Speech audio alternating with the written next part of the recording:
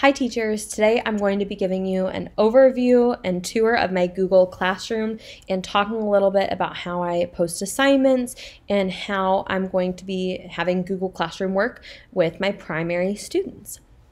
So as soon as you get into your Google Classroom as a teacher, you will be on the stream section of your Google Classroom. You can tell what page you're on by the tab at the top.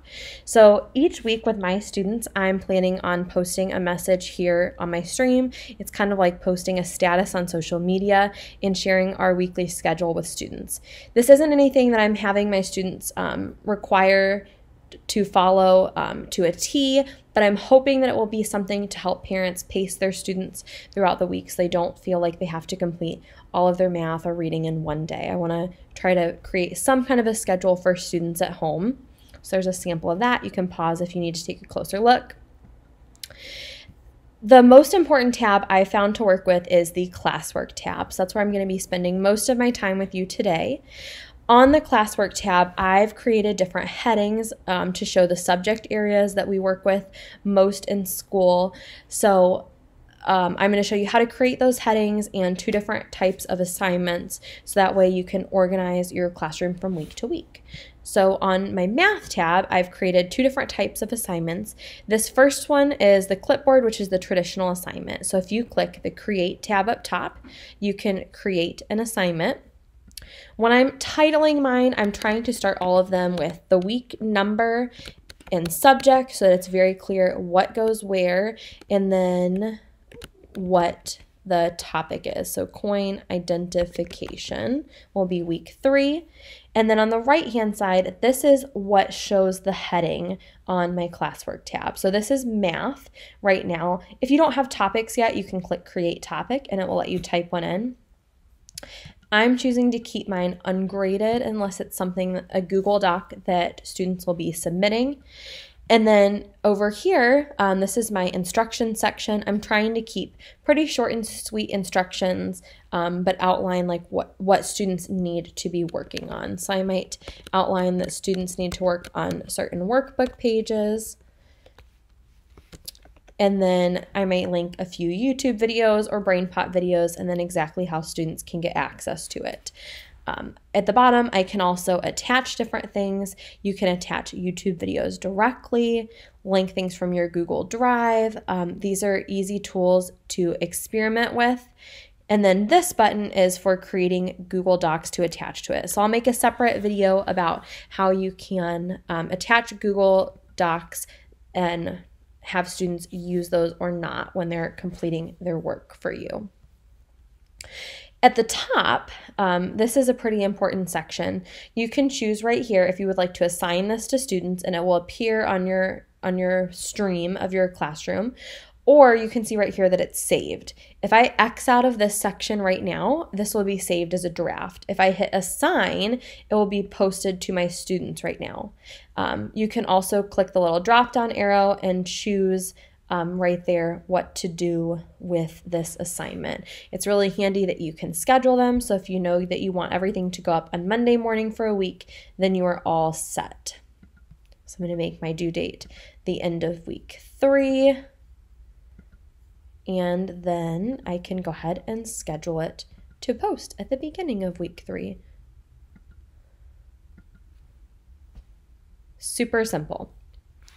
The other important um, type of assignment that you may need to create is material. So when you're making materials, I don't title these with the weeks. I like to think of these just as resources that my students can always be using. So I chose reading as my topic and I might title this as reading resources.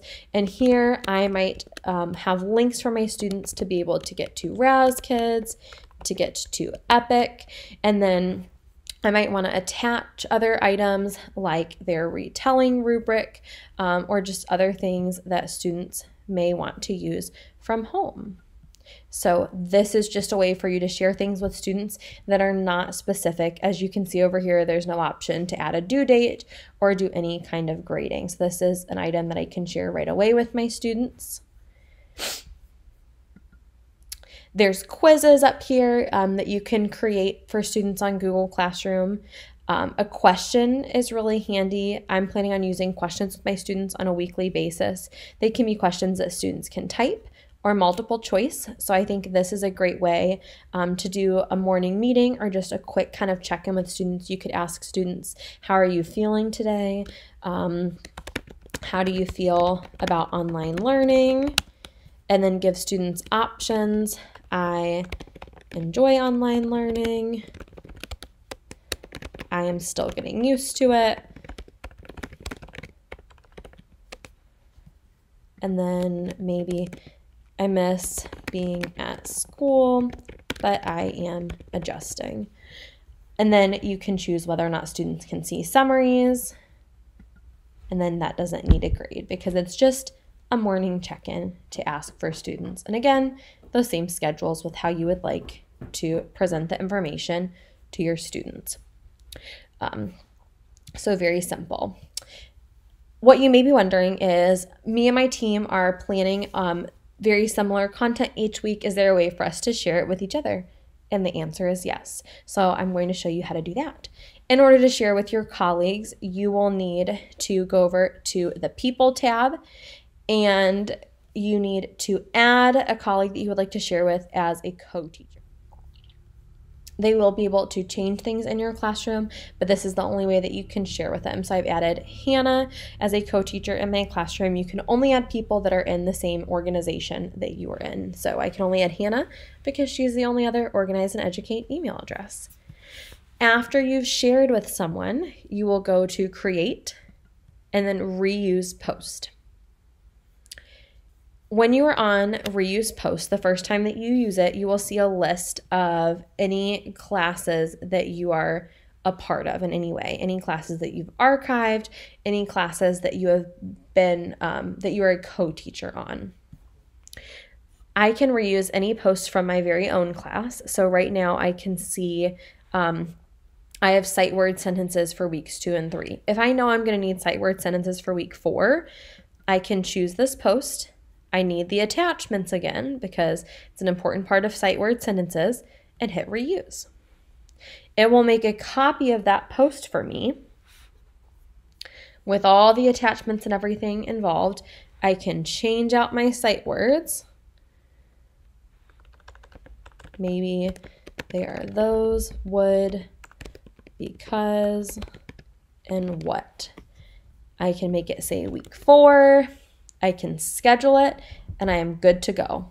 It's saved as a draft, so I'm done. Um, the same thing goes when you are reusing posts. You can simply um, tap into another teacher's class from this screen here. They will be listed, and it will tell you who the main teacher is in that class, and it is that easy. Please let me know what questions you have as you're starting to explore in Google Classroom.